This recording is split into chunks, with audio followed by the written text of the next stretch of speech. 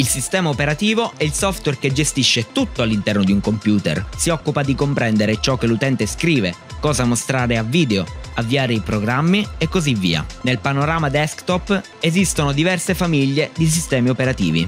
Le tre principali sono Windows, OS X o macOS, GNU Linux.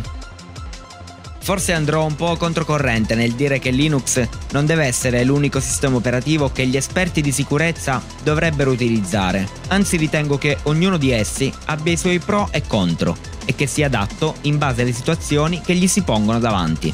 Ciò che è certo, almeno per quanto riguarda l'anonimato, è che il sistema operativo che più si avvicina al concetto stesso dell'essere anonimi è Linux. Linux è un progetto open source, il che vuol dire che non solo è liberamente gratuito, ma anche modificabile, redistribuibile ed esente da codice volutamente nocivo. Questa natura si sposa perfettamente con le esigenze dell'utente che vuole rimanere anonimo si garantirà l'uso di un sistema che nasce senza distorsioni, non manipolato e più difficilmente monitorabile da parte di agenzie di spionaggio, governi, aziende del settore, malintenzionati e via dicendo. Il grande potere di Linux è l'estrema d'utilità che consente a chiunque di creare la propria distribuzione. Sono nate grandi community grazie a questo principio, addirittura intere aziende come le più celebri Red Hat, Novel o Canonical, basano il loro fatturato sull'ecosistema del pinguino, garantendo ogni anno migliaia di posti di lavoro. E credetemi quando vi dico che esiste veramente un'infinità di distribuzioni, dalle storiche Debian o Slackware a quelle più user-friendly come Linux Mint o Ubuntu, a quelle pensate per i videogiocatori come SteamOS, per le produzioni audio-video, per stare dentro microcomputer, server firewall, router e via dicendo. Se non hai mai messo mano su una distribuzione Linux, questo può essere il momento migliore per farlo. Durante questo corso faremo uso principalmente di Debian, una distribuzione madre a cui si appoggiano le più popolari distribuzioni sulla rete come Ubuntu, Linux Mint, Elementary OS, Kali Linux Parrot Security OS, Backbox, Tails e molte altre.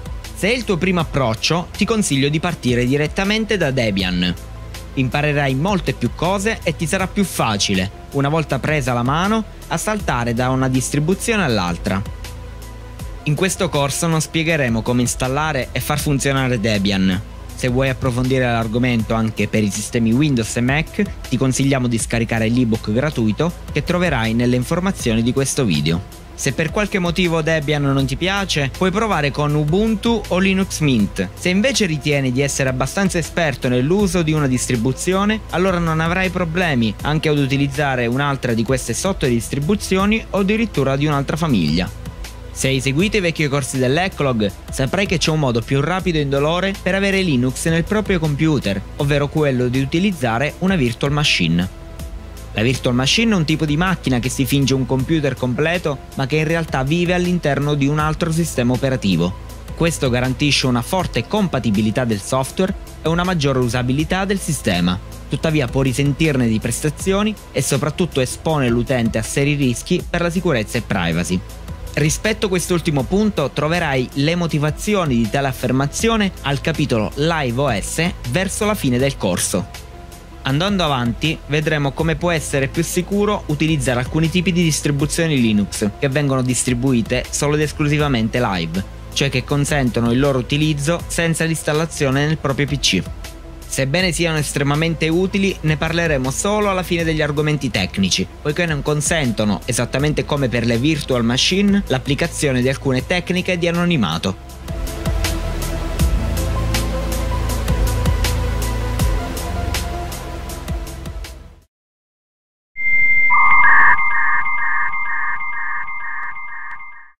Uno degli aspetti più importanti di questo corso sarà l'uso del terminale, un software installato di default in tutti i sistemi operativi. Sebbene faremo in modo che si creino meno possibili problemi, può capitare che il terminale possa comportarsi in maniera diversa in base al tipo di sistema operativo in uso. Quando faremo uso della linea di comando useremo il programma denominato terminale. Il terminale si presenta all'incirca in questo modo.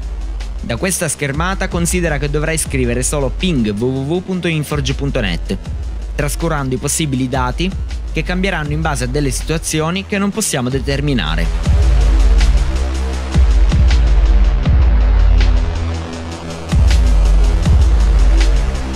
Ecco un breve riassunto dei comandi che utilizzeremo frequentemente.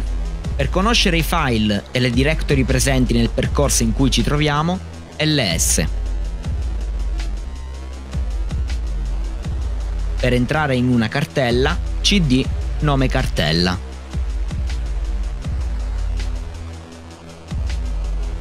Per tornare indietro di una cartella, cd punto punto. per copiare un file cp nome file e nome nuovo file per spostare o rinominare un file mv nome file nome nuovo file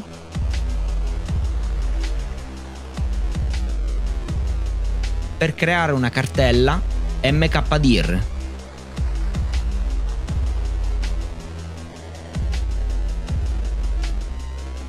per usare un editor di testo. Useremo le combinazioni CTRL più X per chiudere l'editor e YN per confermare la scelta di un'eventuale sovrascrittura nano nome file.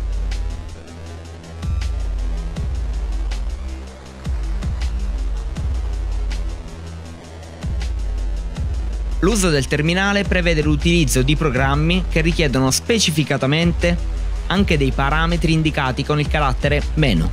Se ad esempio vogliamo conoscere il funzionamento e i parametri permessi dal comando ls, lo possiamo evocare con il parametro meno meno help. Ls meno meno help.